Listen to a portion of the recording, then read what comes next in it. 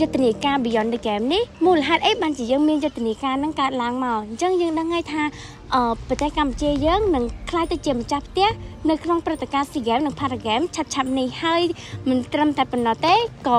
អឺ រយៈពេល10ឆ្នាំព្រឹត្តិការណ៍អង្គរសង្ក្រាននឹងដូចគ្នាចាយុទ្ធនាការ Beyond the Game នេះមានន័យថាយើងជាយុទ្ធនាការមួយដើម្បីបတ်បេះដូងយល់កណ្ដាដើម្បីបတ်ជារៀងបេះដូងហើយក៏ជាការមួយដែល លើកទឹកចិត្តដល់កីឡាករដែលគាត់ជាអត្តពលិកនៅក្នុងព្រឹត្តិការណ៍ SEA Games និង Para Games ខាងមុខនេះហើយយើងដឹងហើយថាបេះដូងហ្នឹងគឺអឺមានតម្លៃស្មើនឹង500រៀលអញ្ចឹងនៅពេលដែលប្រជាពលរដ្ឋម្នាក់ម្នាក់គាត់បានចូលរួមបាត់បេះដូងមួយសន្លឹកដោយគាត់បានធ្វើការ donate ហ្នឹងទៅអត្តពលិកដែលគាត់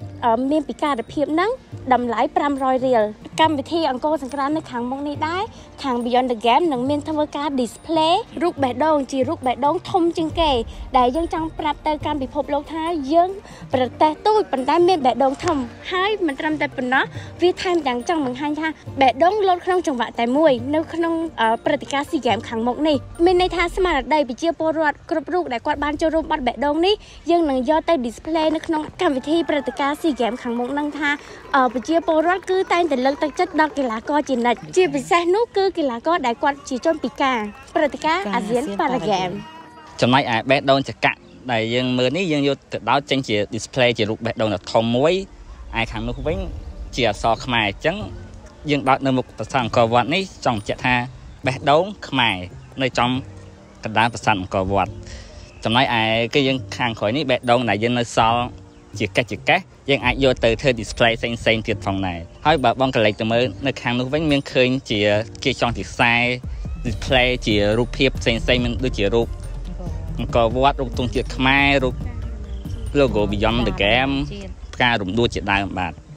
អឺមុននឹងឈានដល់ការ display នៅមុខប្រាសាទអង្គរវត្តគឺយើងមាន process ជាច្រើនដំណាក់កាលដូចគ្នាយើងមានការរឹបបេះដូងហើយនឹងការដោតចង្កាក់ហើយនឹងការដោតនៅដល់ ផ្ទាល់ដីនៅទឹកដីអង្គរនឹងដែរហើយ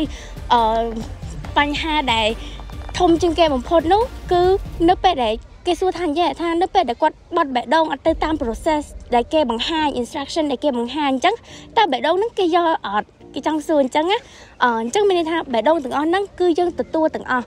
ដោយសារតែអីគឺមានន័យថាគាត់ ធ្វើចេញពីទឹកចិត្តបេះដូងរបស់គាត់អញ្ចឹងហើយបានធ្វើឲ្យក្រុមការងារ Beyond the Game ហ្នឹងគឺត្រូវតែយកបេះដូងដែលគាត់ខំចំណាយពេលវេលារបស់គាត់ក្នុងការបត់និងចូលរួមយុទ្ធនាការមួយហ្នឹងអញ្ចឹងយើងត្រូវតែកែកែវាឲ្យអស់ទៅលទ្ធភាពដែលយើងអាចធ្វើបានហើយយើងយកវា បេះដូងទាំងអស់ហ្នឹងមក display នៅមុខអង្គរប្រាសាទអង្គរវត្តខាងមុខនេះបេះដូងនេះគឺវាលើសពី1លានបេះដូងអញ្ចឹងមានន័យថាប្រជាពលរដ្ឋយើងគាត់បានចូលរួមយុទ្ធនាការហ្នឹងខ្លាំងមែនតើ